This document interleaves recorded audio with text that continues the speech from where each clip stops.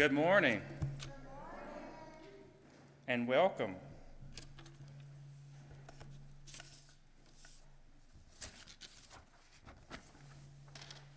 Get all my things together here. First, let me mention that Tommy is out of town, and Pastor Tim asked me to fill in for him since the first announcement is from the Pastor Search Committee. Um, church business, please note that Pastor call schedule that is in your insert again this Sunday um, that we discussed last Sunday. Church business meeting is this Wednesday, April 10th at 6 p.m. That'll be real important for everybody to come. I hope that you will. Um, on the back uh, side of the insert, please fill out the reservation form for dinner if you plan to attend and drop it in the offering plate or leave it in the church office after worship. At the business meeting, you will receive a narrative resume about our candidate and her experience in pastoral ministry. We will discuss the prospective pastor job description and uh, salary package. And you will hear from each of the search team members individually. We have three Meet the Pastor events and please attend one of those so that you will have a chance to have a one on one conversation with her. The first meeting will be Friday, April 12th at 6 p.m. This will be for families with children and youth. Pizza will be provided for dinner. The second meeting will be Saturday, April 13th at 10 a.m. This meeting will be for deacons, active and inactive, the choir, members, and spouses. There'll be biscuits for breakfast. The third meeting will be Saturday, April 13th at 12:30 for everyone else, and sandwiches are for lunch. Next Sunday, there will be a Q&A with the candidate in the fellowship hall during the Sunday school beginning at 9:30 a.m. and there will be donuts for breakfast. You can see we have food for all the meetings, so there's no reason not to show up. During worship, the candidate will, the candidate will preach and lead the worship service.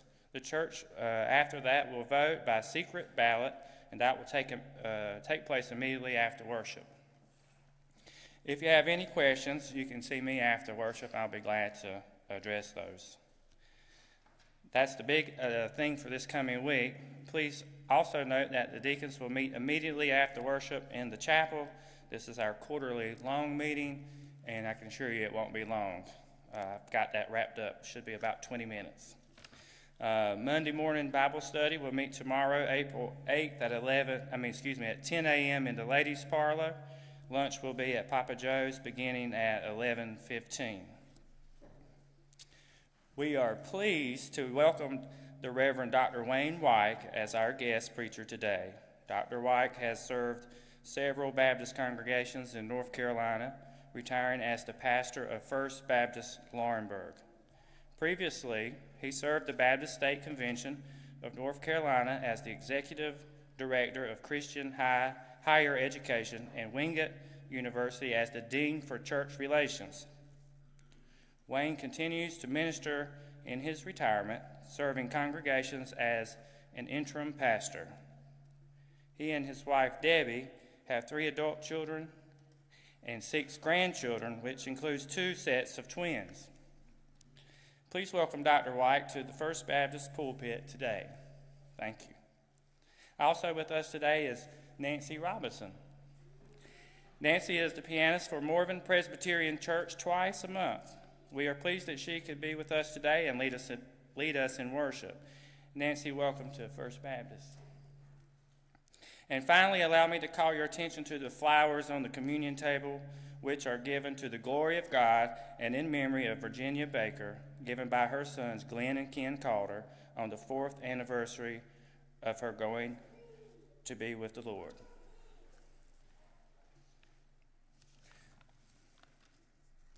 Now, if, you if you would like, you can join me as I read Psalm 121.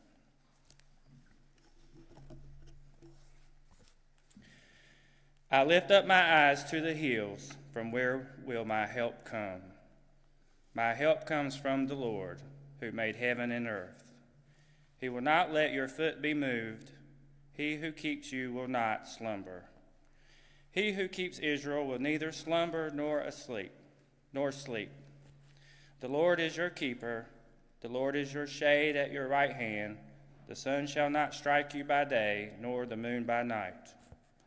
The Lord will keep you from all evil. He will keep your life. The Lord will keep your going out and your coming in from this time and forevermore.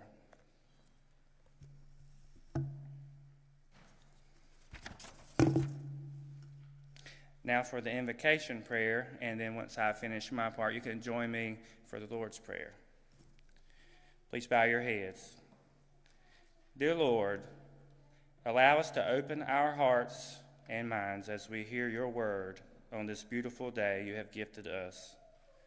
Let us hear these words, and by your actions, allow us to share them with our friends, our family, and with strangers. Our Father, who art in heaven, hallowed be thy name. Thy kingdom come, thy will be done, on earth as it is in heaven. Give us this day our daily bread, and forgive us our trespasses, as we forgive those who trespass against us. And lead us not into temptation, but deliver us from evil. It's the kingdom and the power and the glory forever. Amen. Now, if you'll turn to your in your hymnals to the hymn of commitment, number 13, Joyful, Joyful, We Adore Thee. Thank you.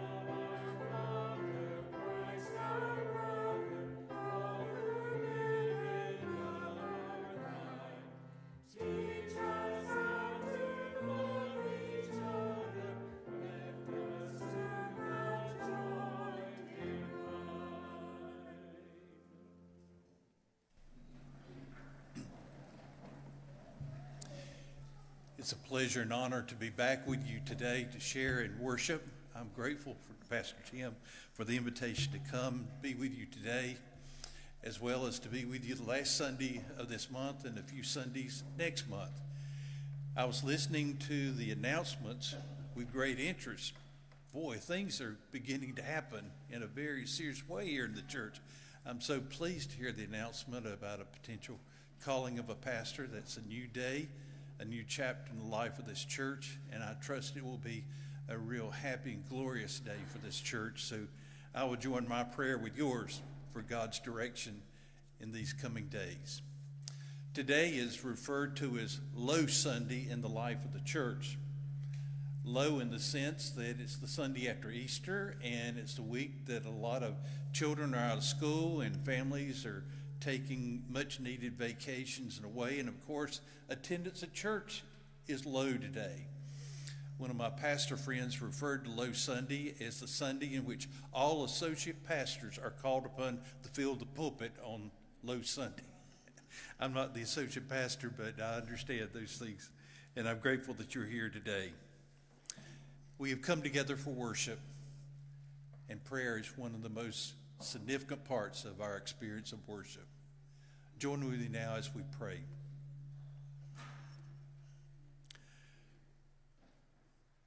Our Father, it was just a week ago we gathered in this place to worship you and to celebrate the victory Christ experienced over the grave. We come with that same gladness of heart, recognizing that we are Easter people, people who believe in a risen Savior, people who rejoice that death is but a passageway into a life far greater and grander than anything we have experienced here today.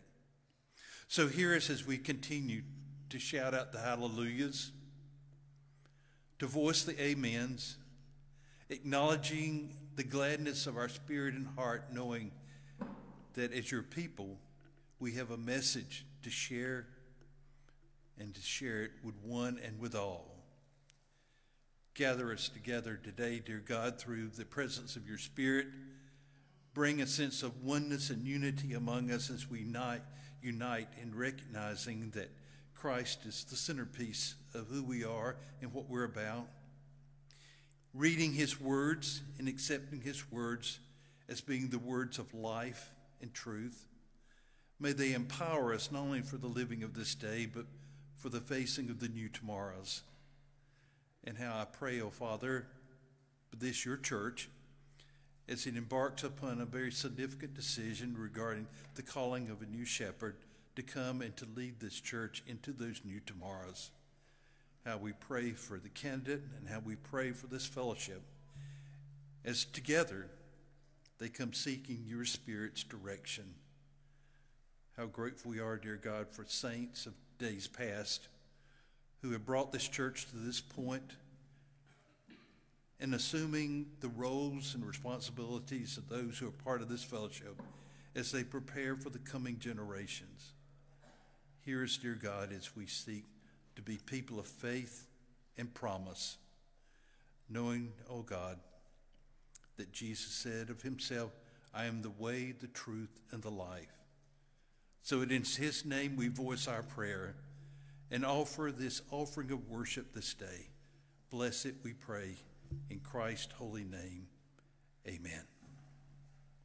May we unite by singing our next hymn on 107 Love Lifted Me.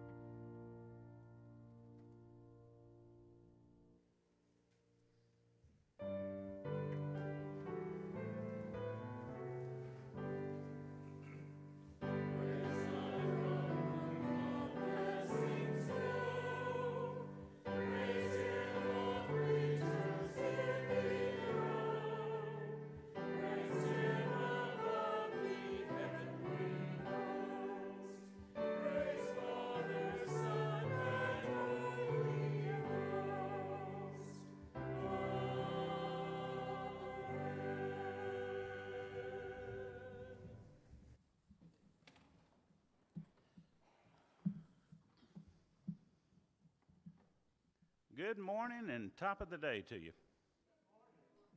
How's everybody doing today? Did y'all have a big Easter? I know you didn't get any candy, did you? Okay, I see how honest you're going to be this morning. Well, let me ask you a question.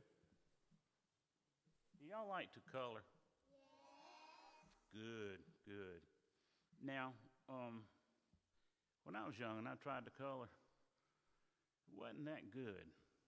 Some reason I just made poor choices.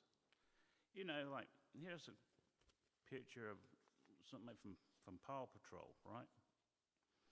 Now, if if I colored his face in outside, I'm gonna color that face in green. That look right? No. No, but you could do it, couldn't you? Well, that's because we made a choice to color it green. Doesn't mean it's wrong, but it may not be just the right color. Now, if we use brown, that'd probably look better, wouldn't it? We know life's a lot like a coloring book. Sometimes we make choices that aren't the best in the world, but we, we, we learn when we make them that maybe I shouldn't have done, you know, colored his face green. It would look better brown. Or if I colored his ears pink, hmm, that wouldn't look right either, would it? Would on you? I think I'll color your ears pink this afternoon, Cal. How about that? Would you like that? Anyway, that's why I said I, I brought y'all some coloring books and crayons, and so I know when it's quiet time and you want to do something, you just want to color. Think about when you're coloring the choices that, that you make, the colors that you choose. That as you grow older and you start making choices in life, uh, especially when you get into your early teens, you'll be making some really big choices in life. And you want to make sure that you choose the right color, okay? And so, so now is the time to start thinking about when you make choices in life that you make the right choices, okay? All right, so let's have a word of prayer and then I'll give you books and crayons. Dear Heavenly Father, how we thank you for these kids today and the life that we have ahead of them. And that we stand behind them, with them, and will carry them through as best we can as, as adults. And we know that you have them, Lord. And we're so grateful for you for that. But we ask that you grant them good decision making skills as they grow, and they'll make good choices. For it's in your Son's name we pray. Amen.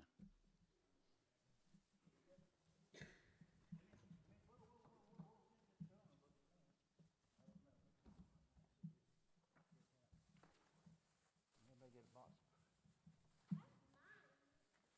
Come on. Here you go. Yeah, you want crayons? Cal? Hmm? Yeah, there you go. Come on. Yeah. Okay. Mm-hmm. Okay, that's fine. Uh-huh. Yeah, right. Any adults, would you like a coloring book?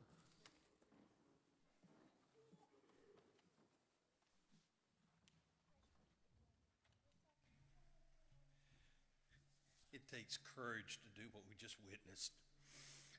Years ago, I tried my hand at doing a children's sermon. And afterwards, my wife came up to me and said, Don't ever do that again. and I haven't but I do admire those who have that gift and ability. Our passage today comes from John's Gospel, the 20th chapter, verses 19 through 23. When therefore it was evening on that day, the first day of the week, and when the doors were shut where the disciples were for fear of the Jews, Jesus came and stood in their midst and said to them, Peace be with you. And when he had said this, he showed them both his hands and his side. The disciples therefore rejoiced when they saw the Lord. Jesus therefore said to them again, Peace be with you.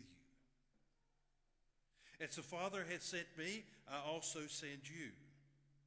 And when he had said this, he breathed on them and said to them, Receive the Holy Spirit. If you forgive the sins of any, their sins have been forgiven them. But if you retain the sins of any, they've been retained. The Word of God for the people of God. Thanks be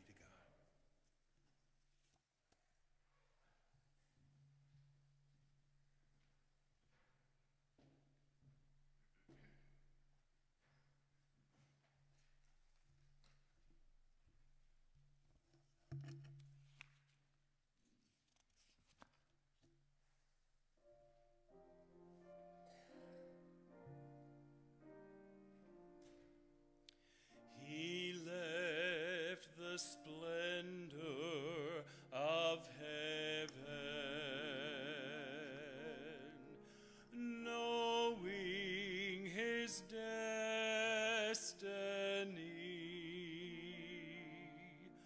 was the lonely hill of Golgotha, there to lay down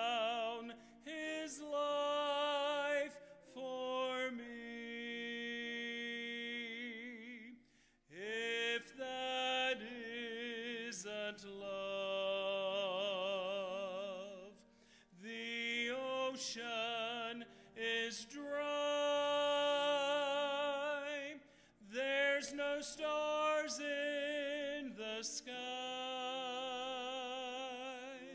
and the sparrow can't fly. If that isn't love,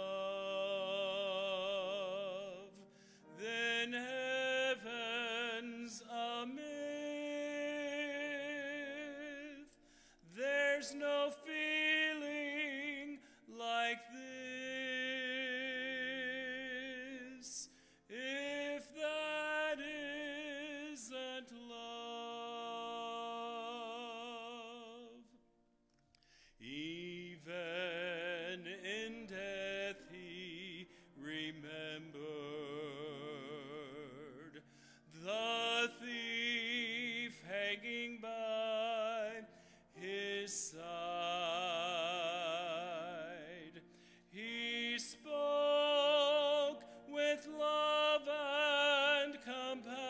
compassion. Then he took him to paradise.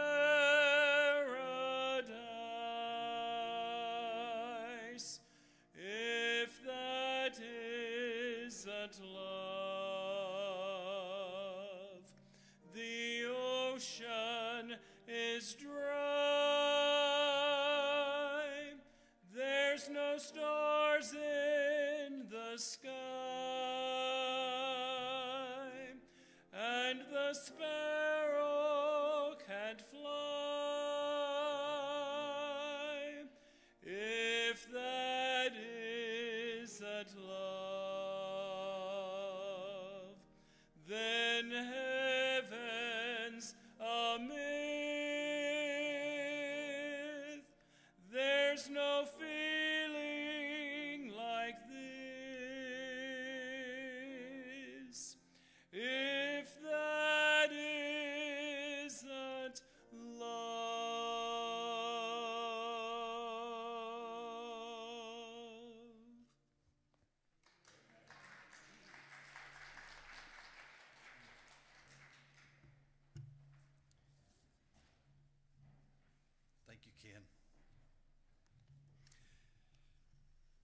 Today, I'd like to ask you to join with me in thinking about an experience that's common to all of us. I'm talking about the experience of fear. It really doesn't matter who we are, what our credentials may be, what our background may be, and any other metric we might be able to cite to identify who we are, what we're about, etc. All of us at some time or the other, will experience fear in our life, and that fear may be modest, such as fearing what the weather will be like tomorrow, but then it can be far more significant. That fear that grips your life when you await the test results from your recent visit with your physician, knowing if they come back as you fear, your life could be changed in the matter of just a few quick diagnoses. Fear is never welcomed and it's never wanted by any of us. And if truth be known, we wish we could live our life free of fear, no matter how it packages itself or presents itself in the course of our life. And if we were to stop and ask ourselves, when those moments of fear become particularly strong and forceful in our life, why am I experiencing so much fear at this particular moment? I have a feeling at the end of that kind of self diagnosis, we probably would end up saying part of my heaviness over this experience of fear is because of the uncertainties that I'm facing. Because if truth be known, we'd like life to be neat, clean, and packaged and programmed where things just would kind of flow along without any kind of interruptions or calamities. Life is not that way, is it? Life can indeed be very messy, if truth be known, and very unpredictable. And so, when life throws us those curveballs of fear, however it may package itself, present itself to us, we find ourselves having to deal with it, trying to cope with it, hoping that it will not take such a grip on our life that it leaves us paralyzed and immobile. I'm saying all this to dive into our passage today. For you see, it was just last Sunday. We came together as the people of faith and celebrated the risen Christ. And what a glorious day Easter was for all of us. Resurrection Sunday. That day in the calendar which reminds us once more that we're people of hope. That we have a promise that has been made to us because of our faith and confidence in Jesus the Christ, the Son of God, that whether our days be measured in few or plenty, that there is a life beyond. And how grateful we are that we are an Easter people. But notice, if you will, John tells us how the disciples of Jesus, having witnessed the resurrection of Christ, are huddled together inside closed doors, gripped by fear. And they had every right to be fearful. For you see, just a few days earlier, they had witnessed our Lord being tried, convicted, and crucified. An innocent, blameless individual. And yet they witness such cruelty and brutality being leveled against the very Son of God. You're getting the idea, aren't you? They had every reason to be fearful for their lives, thinking, well, if this could happen to Jesus, surely it could happen to us. If we suddenly go out and boldly declare that we're followers of Jesus, that same fate could very easily come our way. So, what did they do? They hid themselves behind closed doors. That's a big piece that I hope you'll hang on to in our passage today and allow it to become a metaphor for where many of us are living our lives today, that is, living our lives behind closed doors. Doors that have been locked shut, bolted shut, thinking if we can be behind those closed doors, we'll be in a safe place. Because those fears that had inhibited our lives have caused us to seek a safe place, a place of comfort, a shelter, a sanctuary, if you will. Huddled behind those closed doors, as safe and protected as the disciples considered themselves to be, notice how Jesus appears.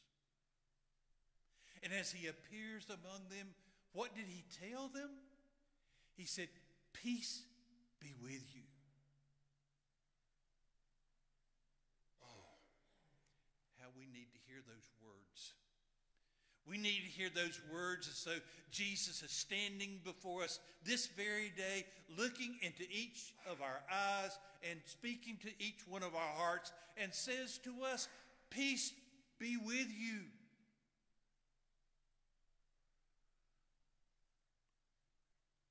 For, beloved, I do not know you as much as I wish I did. But I am convinced that there are some, if not many, among us who indeed are like these frightened disciples, are living their life behind some closed doors,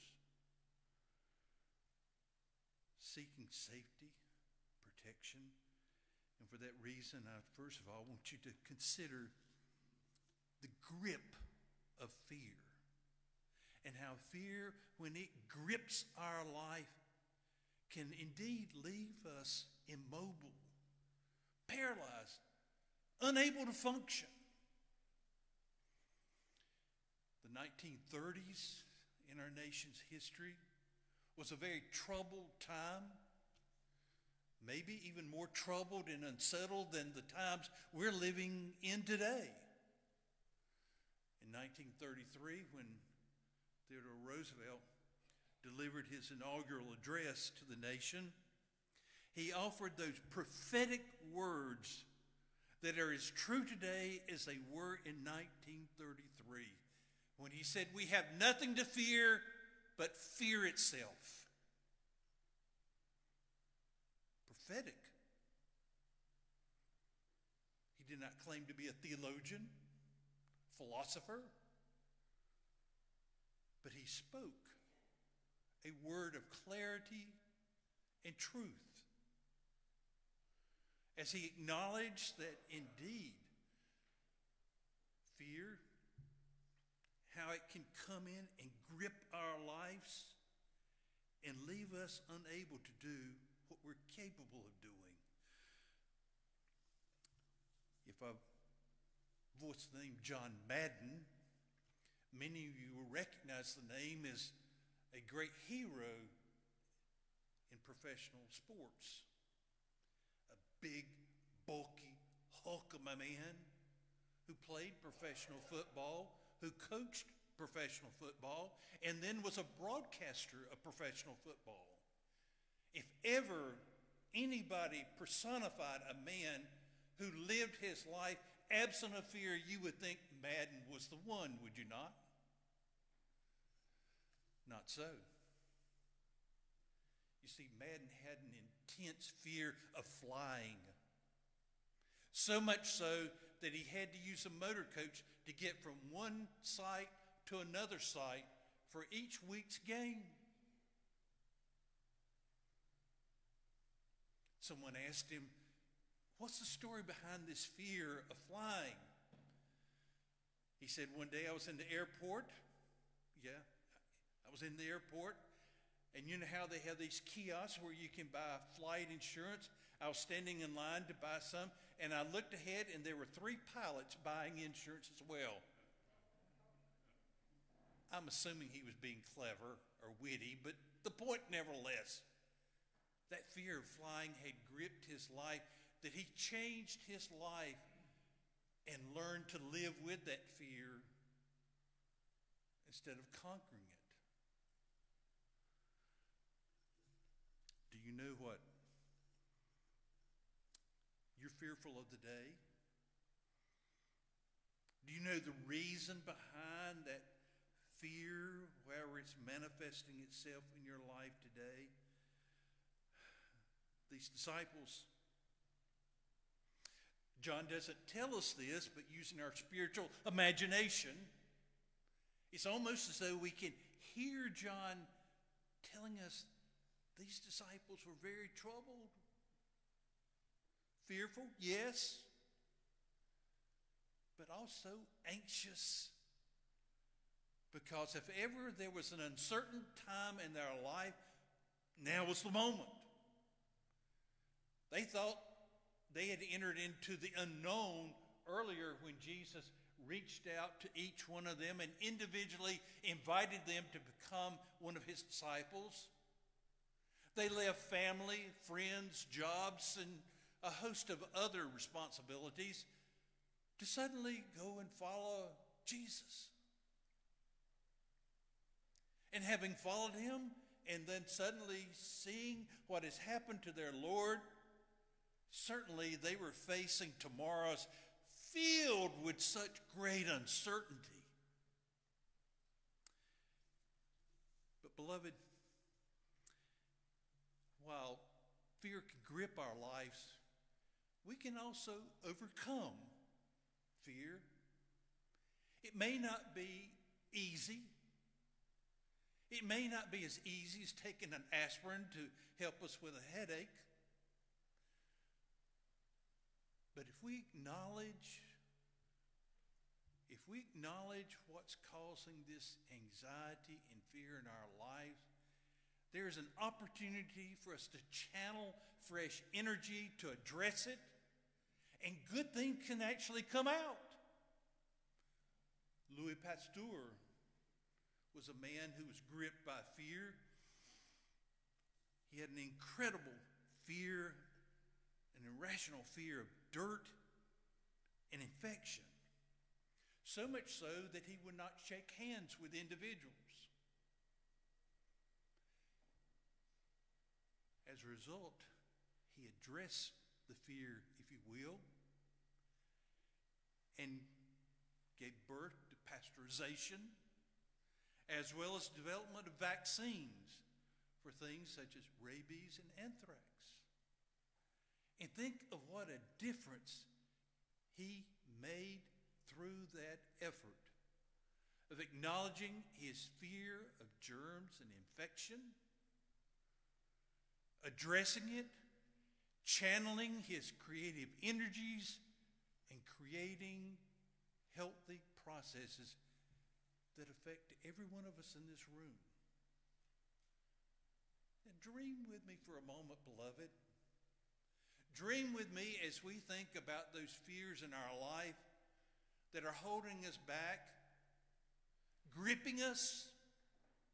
And think with me if we were to take the model of Louis Pasteur and suddenly begin addressing those and allowing good to come out of those experiences. What a difference we could make in our life, in the life of others. Helmut Thielicke is a German pastor who stood in the rubble of his bombed out church in Berlin, having escaped the wrath of Adolf Hitler, but standing in the ruins of the physical building that he had once led worship in, delivered a sermon based upon the very passage we're studying today. And he said the key to this sermon or this passage were those four words Jesus voiced to those disciples Peace be with you. Thielicke said, those four words are words we need to hear and meditate upon because they really are transformative words insofar as how we live our life today and as we face those uncertain tomorrows. Luther, the reformer of the church, in a similar way, said, We dare not gloss over that reading of the passage, Peace be with you, without allowing them to kind of roll around in our mind and hearts, allowing them to take root. Peace be with you. I do believe that we're living in a very anxious time, in a very uncertain time. So much so that some of us would prefer not even reading the morning newspaper or watching the evening news. But the same Jesus who said to those disciples, Peace be with you, is saying those words to each one of us here today. And if we will hear them and allow them to take root in our life, we can open doors that have been closed because of people finding it more convenient to stay behind closed doors instead of experiencing the wonder of life. You know, COVID really threw the church for a loop, and we're still suffering as a result of that experience. Even today, I will hear people say, I haven't gone back to church since the shutdown because I'm just fearful. Okay. I get it. But it's time, for the people of God to reach out and to encourage people to come and to be a part of the family of God, to help them overcome those fears and experience the wonder and the majesty of God's holy presence as God's people come together to worship Him and to honor Him. I saw a meme on Facebook a few months ago that I think it's one of the most profound memes I've ever seen. It was one that pictured an electronic fire in a fireplace. And the caption read, You can look at that fire all day long and never feel heat. By extension, saying, if it were a real fire, you could feel the heat. You could smell the embers as they were burning. And saying by extension, when people come together for worship, instead of staying home and watching TV on YouTube or Facebook or TV or some other media, they may be viewing a worship, but not really feeling it, not really experiencing it. And I can't help believe when Jesus said to those disciples, Peace be with you he was trying to do more than just settle, settling their nervousness, their uncertainty. In many ways, I think Jesus was seeking to empower them. Look back at verse 21. Read it slowly and carefully. Hear Jesus once more as he said to those disciples and as he's saying to us, Peace be with you. The Hebrew word for peace is the word shalom. Shalom means much more than the simply absence of war or fighting. No, in the Hebraic shalom means something speaking about a wholeness and a completeness a confidence that comes upon you and settles you and gives you that strength you need to face whatever tomorrow may bring. And I have to believe that was at the very heart of what Jesus was saying to those disciples. Yes, you saw what happened to me. He showed them his hands, he showed them his side. But in spite of that, he says, Peace be with you. He was empowering them to go forward in the confidence that whatever tomorrow may bring, that they had shalom. They had comfort and confidence that Jesus would be with them as he was in that room behind a closed door. Goodness. We're indebted. We're indebted to John recording this passage for our hearing today. We're indebted in that it reminds us that had Jesus not come among those disciples, they could very easily have surrendered themselves to their fear and said to themselves, if this happened to Jesus, I'm going back to my boat and I'm going to go fish. No.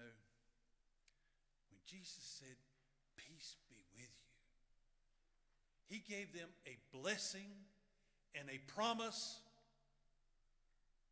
that they could go forward knowing that whatever life may throw their way, He will be with them. And He is with you. Each one of you as His children. So, beloved, accept the peace of God that passeth all understanding. Allow it to swell in you like yeast in fresh dough. For the glory of God and for the glory of His church. Amen. Join with me as we stand and sing a hymn of invitation on 434. May we stand, please.